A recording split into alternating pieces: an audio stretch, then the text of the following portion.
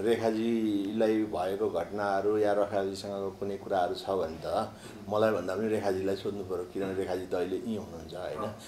उहाँले जे पनि अहिले भनिरहनु भएको छ होइन? अब त्यो मैले सुन्ने बाहेक मैले त्यसको केही दिनेवाला छैन। मलाई शिल्पाजीले यतिसम्म गर्नुहुन्छ जस्तो पनि लागेको थिएन होइन? बस्नुहोस् आउनुहोस् तपाईँलाई त्यस्तै कुरा छ भने मै दिनुपर्ने छ भने दिन्छु नि के भएर मैले हिजो स्टाटस पनि लेखिसकेँ होइन?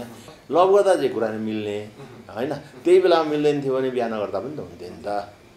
केटीले म बिहा गर्दिनँ भनेको भए त लामो कुरै छैन त। मैले जबरजस्ती गर्न सक्छु। पुरा मान्छे चिनिसकेपछि छवि हजार त केही रहेन रहेछ। म योभन्दा पनि अरू ठुला रहेछन् भन्ने पनि लागेको पनि हुनसक्छ होइन? अहिले भर्खर छ महिना अगाडि विवाह दर्ता किन गरेको त?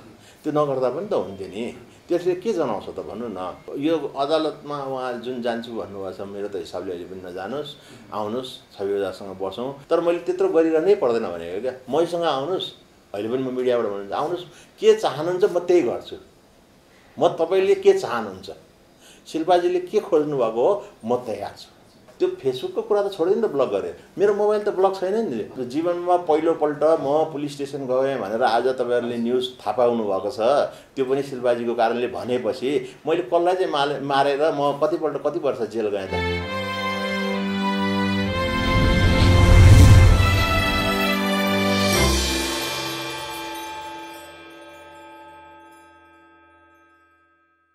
सम्पूर्ण मिडियामा स्वागत छ कसरी भयो फेरि त्यहाँबाट त्यहाँबाट त एउटा छुट्नु भएको थियो तपाईँहरू मिलापत्र गरेर।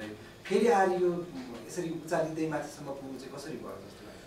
अब खोइ अब त्यहाँबाट त्यहाँ मलाई बोलाइयो होइन। म बाइस गते मलाई फोन आयो। फोन आएपछि म तेइस गते तेइस गते फोन आयो। मलाई चौबिस गते म गएँ भेटेँ। अनिखेरि उहाँहरू आउनुभएको थिएन। भोलिपल्ट हामी गएर त्यो एकैछिनमा साधारण कुराले हिसाबले हाम्रो भयो।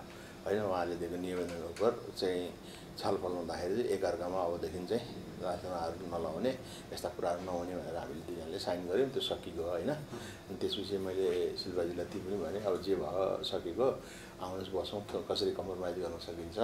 एकअर्कामा होइन मैले गर्ने बढी कम्प्रोमाइज म गरौँला तपाईँ कम गर्नु होला होइन?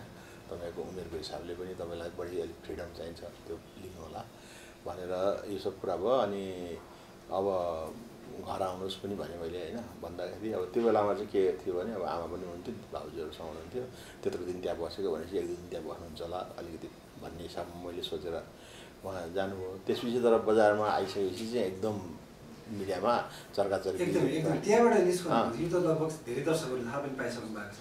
त त्यहाँनिर जान्जेलसम्म चाहिँ के थियो भने एउटा छवि जाले शिल्पा पोखरेललाई कानको जाली फुट फुट्ने गरेर फुट्यो रे भनेर घरेलु हिंसामा लगेर मुद्दा हाल्यो भन्ने खालको एउटा कुरा थियो।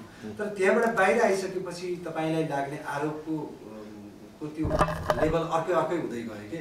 होइन जस्तो शिल्पालाई घाँटी थिच्नुहुन्थ्यो अरे होइन? रेखालाई पनि कुट्नु अब यहाँ कस्तो मैले भन्नु खोजेको कस्तो भने अब रेखाजीलाई भएको घटनाहरू या रेखाजीसँगको कुनै कुराहरू छ भने त मलाई भन्दा पनि रेखाजीलाई सोध्नु पऱ्यो किनभने रेखाजी त अहिले यहीँ हुनुहुन्छ होइन? र रेखाजीसँगको त मेरो अन्ठाउन्न अडसट्ठी सालदेखि त उहाँ अलगै हुनुहुन्छ होइन?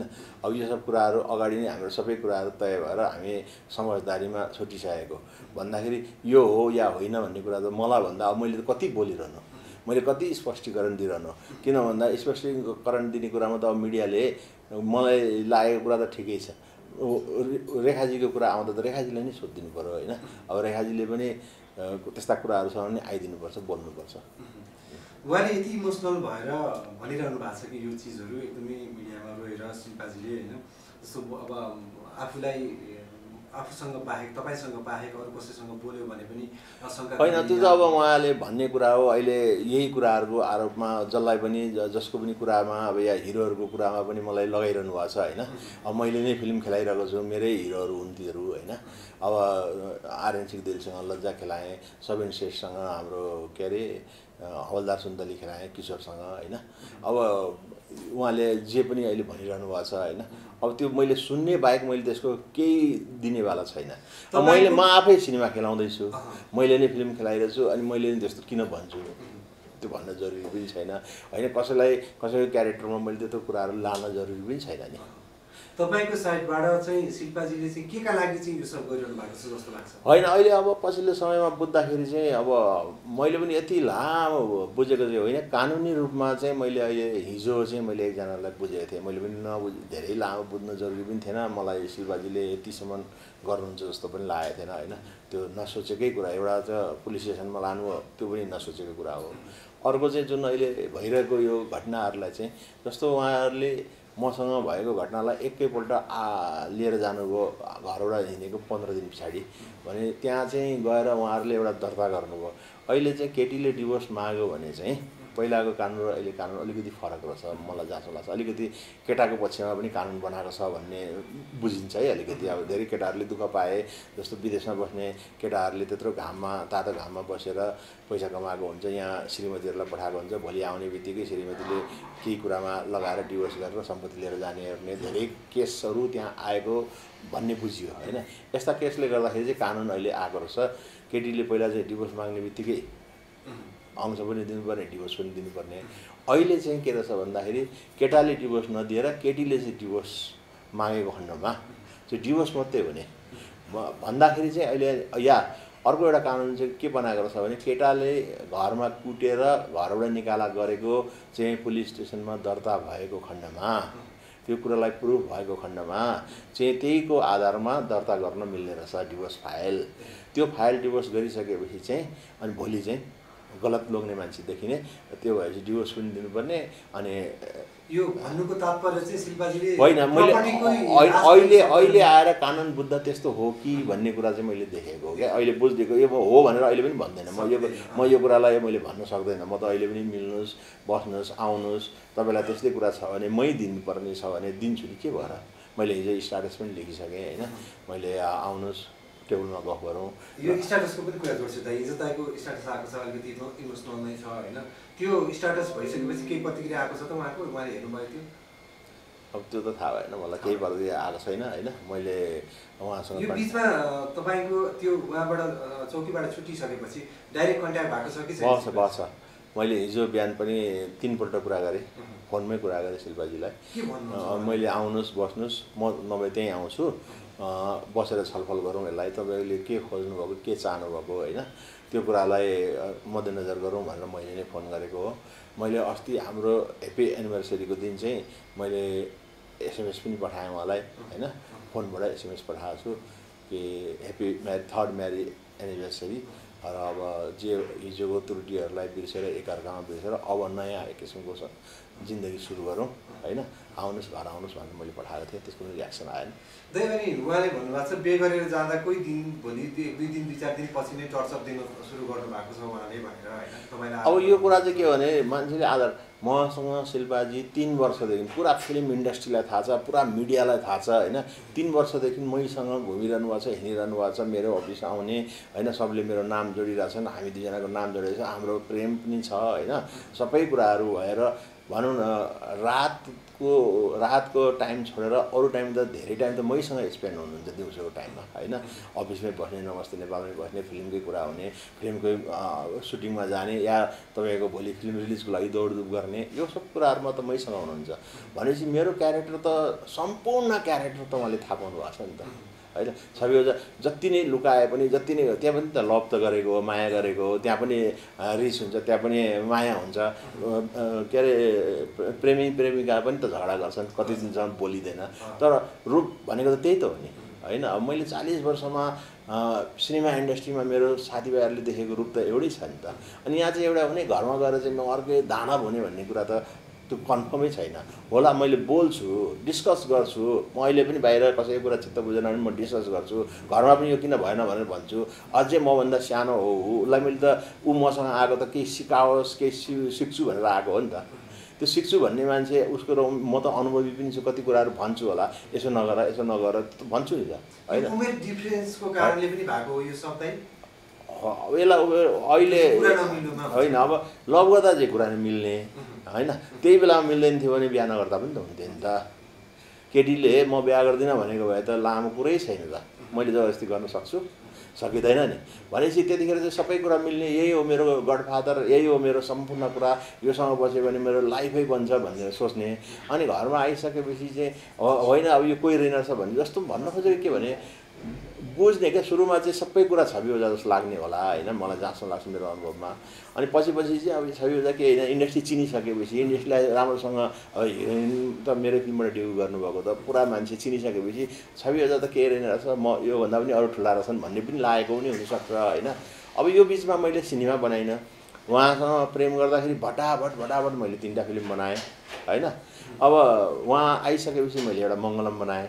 र सिनेमाको परिस्थितिले अहिले सिनेमा बनाउने स्थिति भएन मेरो होइन? त्यो नभएपछि अब उहाँले सोच्नु होला या फिल्म पनि बनाउँदैन होइन? अब त्यो भएपछि उहाँको मनमा विभिन्न किसिमको आउन सक्छ। तर तपाईँले अघि भन्नुभयो बिहा गरेको एक दुई दिनमै चाहिँ डिस्कस झगडा पर्न थाल्यो भनेर। त्यस्तो थियो भने अहिले भर्खर छ महिना अगाडि विवाह दर्ता किन गरेको त? त्यो नगर्दा पनि त हुन्थ्यो नि। त्यसले के जनाउँछ त भन्नु न। म नराम्रै मान्छे थियो भने त तसँग बस्दिनँ अब म हिँडेँ भन्दा पनि त सकिन्थ्यो नि त। त्यो अर्को हिडन उहाँको इन्ट्रेस्ट छ महिना अगाडि आइसकेपछि त्यो बिचदेखि यदि तपाईँहरूको बिचमा कन्ट्राडिक्सन भइरहेको थियो भने अब डिभोर्स गऱ्यो भने प्र प्रपर्टीहरू पाउँछ भन्ने खालको उहाँको एउटा इन्ट्रेस्ट अब होइन त्यो त्यो त्यो त लामो प्लानिङ हुनसक्छ हो यो- यस्तो कुराहरू हुनसक्छ। मैले भन्न खोजेको अब उहाँ हिँडिरहेको हुन्छ पार्टीमा गएको हुन्छ सुटिङमा जानुहुन्छ म्युजिक भिडियोको सुटिङमा बिहान सात बजे जानुपर्छ बिहानै जानुहुन्छ होइन। अब बेलुका कहिले दस बजे कहिले एघार बजे आउनुहुन्छ मतलब सुटिङको जग्गा होइन कहिले लेटै बाह्र पनि बज्छ। भनेपछि उहाँ हिँडिरहनु भएको छ काम गरिरहनु भएको छ सुटिङमा पनि गइरहनुहुन्छ होइन। अब यसलाई यसलाई त मैले केही गर्नै सकेको छैन नि। दाइले के लाग्छ यो शिल्पाजीले जति पनि आरोपहरू लगाउनु भएको छ एकदम सामान्यदेखि जटिल आरोपहरू गम्भीर आरोपहरूसम्म लगाउनु भएको छ त्यो दर्शकहरूले पनि होइन शिल्पाजीले मलाई। सबभन्दा अचम्म लागेको अब मैले बुझेको म धेरै न्युज हेर्दिनँ तर अरूबाट सुन्छु। किनभने मलाई त्यो हेऱ्यो भने कस्तो दिक्क लाग्छ क्या आफैलाई।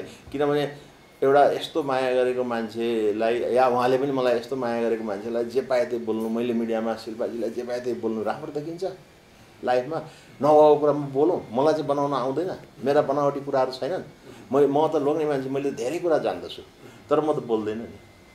हाम्रो पनि कान छन् हाम्रा पनि आँखा छन् छैनन् र? तर हामीले त्यो कुराहरू त बोलेर हिँड्ने होइन नि त। मैले त उहाँलाई केही गरेकै छैन। अब यो यस्तो गरेको भए उस्तो भएको भए त अर्कै कुरा हुन्थ्यो। तर अब उहाँ यसरी आरोप लगाइरहनु भएको छ कि जीवनमा मैले छवि चाहिँ केही राम्रो कामै गरेन उहाँलाई। तपाईँहरू भन्नुहोस् न एउटा मिडियामा। मैले चाहिँ केही कामै राम्रो गरिनँ त। म नराम्रै थिएँ। त्यो तिन वर्षमा चाहिँ केही नराम्रै कुरा देखिएन। अहिले आएर चाहिँ जम्मै कुरा त्यसरी आयो होइन। अब यो उहाँको दिमागले या उहाँको उपजले भयो होला केही भयो होला होइन त्यसको लागि केही छैन। मलाई अहिले पनि केही भएको छैन। उहाँले जति आलोचना लगाए पनि लेडिजहरू हो लेडिजहरूलाई सम्मान गर्नुपर्छ उहाँहरूको कुरा सुन्नु पनि पर्छ होइन। उहाँहरूलाई हामीले स्थान पनि दिनुपर्छ र म यसै पनि नारी प्रधान सिनेमा बनाउने सुरुदेखि आजसम्म मैले सबै नारीहरूको सिनेमा बनाएको छु। यो मिडियामा यो पनि छ। छविराज नारी नारी प्रधान चाहिँ फिल्म बनाउँछ। यो दुई दुईतिर छ कि? एक पक्ष जस्तो मिडिया भन्नाले हाम्रै सेलिब्रिटीहरू सर्कलमा पनि दुई तरिकाको छ। कसैले छविराज ओझालाई स्याटर हान्ने तरिकाले स्ट्याटसहरू पोस्ट गरिरहनु भएको छ कति शिल्पालाई के अरे पुरै एकजना पचास पचपन्न वर्षको मान्छेलाई रैनुगाई बनाउने भन्ने खालको स्ट्याटसहरू पनि हालिरहनु भएको छ। होइन। अनि यहाँनिर चाहिँ तपाईँले के भन्न चाहनुहुन्छ? ती सेलिब्रिटीहरूले तपाईँलाई बुझेर भने कि नबुझिकन भने कि सेलिब्रिटीहरूले त अब लेडिज अहिले धेरै जसो लेडिजहरूले उहाँलाई सम्मान गर्छ। गर्छ भने यो त एउटा सोसाइटी नै हो होइन? अहिले नारीको नारीको प्रतिनिधित्व शिल्पाजीले गर्नुभएको छ र पीडित लोग्नेहरूको प्रतिनिधित्व। मैले गरेको छु अब हाम्रो एउटा साधारण कुरा जल्लापेली भन्दा ओर्दा बुझ्दाखेरि अहिले नेपालमा मात्रै होइन संसारमै तपाईँले हेर्नुभयो र नेपालमा धेरै लोग्ने स्वास्नी भएको मान्छेहरूले लोग्नेले एक बोल्यो भने श्रीमतीले चार बोल्छन्। यो त क्लियरै छ होइन? हामी लोग्ने मान्छे चाहिँ श्री- श्रीमतीहरूले के चाहन्छन् भने मैले हिजो पनि भने होइन? चाहिँ एक किसिमको रोबोट भएर बस्नु उनीहरूको हातमा रिमोट उनीहरूले जता चलाए हामी त्यति चल्नुपर्छ भन्ने सोच हुन्छ क्या। हामीले बोल्न पनि धेरै नमिल्ने डिस्कस गर्न पनि नमिल्ने। होइन? अब कति कुरा देखेको कुरालाई पनि नबोल्दा पनि भयो होइन? हामी चाहिँ त्यस्तो भयो भने लोग्ने चाहिँ एकदम महान भयो। त्यो जस्तो लोग्ने मेरो लोग्ने त देउता हो भन्छन्। नभए चाहिँ अब डिस्कस गर्ने कुरा गर्ने उहाँहरूको कुरामा डिबेट गऱ्यो भने यो भएन यस्तो भएन यस्तो भयो भनेर भन्यो भने हामी खराब भयौँ। भएको यति हो। गत राति दाइले ठ्याक्कै बाह्र बजे स्ट्याटस पोस्ट गर्नुभयो। यो बाह्र बजे बाह्र बज्नु र स्ट्याटस पोस्ट गर्नु होइन यो चाहिँ के भन्दा राति अब घर जाँदा पनि ढिलो भएको थियो। अनि मलाई लाग्यो विभिन्नबाट चाहिँ शिल्पाजीले जुन किसिमले चाहिँ यस्तोसँग गर्नुभएको छ कि मैले चाहिँ भयङ्कर ठुलो क्राइम गरेको जस्तो होइन। अब यो लाग्छ कि यो संसारै फुट्न आँट्यो जस्तो गरेर इन्टरभ्यूहरू दिइरहनु भएको छ होइन। रोएर अनि दर्शकहरू पनि या मिडिया साथीहरू पनि उहाँकै विषयमा चाहिँ रुने मान्छेसँगको सेम्पथीमै कुदिरहनु भएको छ होइन। अब अरू बेला हिँड्दाखेरि अरू बेला गर्दाखेरि शिल्पाजीलाई त्यस्तो रोग देख्नु भएको छ तपाईँहरू मिडियाले। तर जब क्यामेराको अगाडि आउने बित्तिकै रुन थालिहाल्नुहुन्छ। तपाईँहरूले जहाँ क्यामेरा तेर्साउनुहोस् शिल्पाजी रुन थाल्नुहुन्छ। त्यो पनि त होइन नि। मैले त सिनेमा लाइनमा एउटा स्ट्रङ केटीहरू लिएर आएको त मैले जहिले पनि नारी प्रधान सिनेमा बनाउँदा लज्जामे उहाँलाई एउटा बोल्ड क्यारेक्टर कस्ता प्रब्लमहरू थियो त्यहाँ होइन? त्यस्तै हवलदार सुन्तलीमा एक्सन गर्ने। भन्यो अनि रियल लाइफमा चाहिँ उहाँ अनि एकदम रोएर चाहिँ सेम्पथी पाउँछु र म जित्छु बाजी भन्नुहुन्छ। त्यस्तो होइन नि। तपाईँको हक अधिकार सबै चिज तपाईँले प्राप्त गर्नुहुन्छ। जे चिज हो त्यो बोल्नुहोस्। जे होइन अर्काको मानमर्यादा राख्नुहोस्। मैले पनि जे पाएँ त्यही बोल्न मिल्दैन। कति कुराहरू जानेर पनि बोलिँदैन। हरेक कुराहरू लोग्ने स्वास्नीमा कति कुराहरू चाहिँ कस्तो हुन्छ भने नितान्त गोप्य पनि त हुन्छ नि त। त्यो कुराहरू उदाङ्ग गरेर ल्याउन पनि त सकिँदैन नि। त्यो कुराहरूलाई चाहिँ अलिकति ध्यान दिनु पऱ्यो होइन? अब बस्ने खाने सुत्ने यस्ता कुराहरू होइन?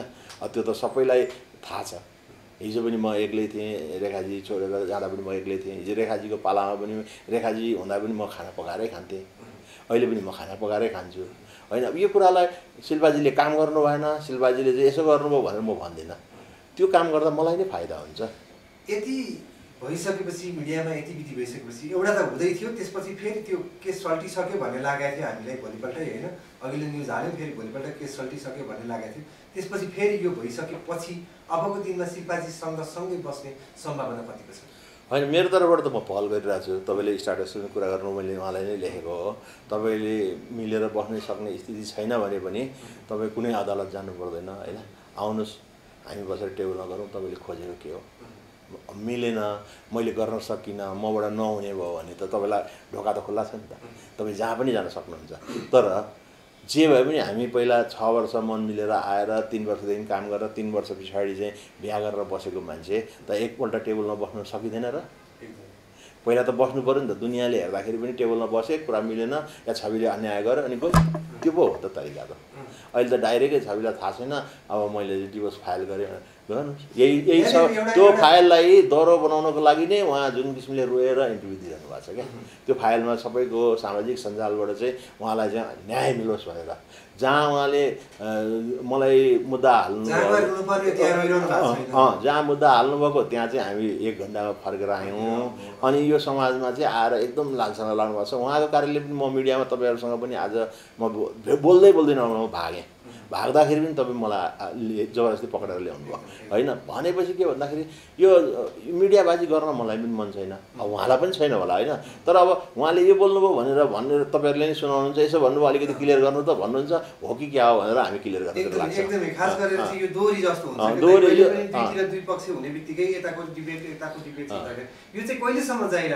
कहिलेसम्म खोइ अब मैले उहाँले अब यो अदालतमा उहाँ जुन जान्छु भन्नुभएको छ मेरो त हिसाबले अहिले पनि नजानुहोस् आउनुहोस् छवि ओझासँग बसौँ।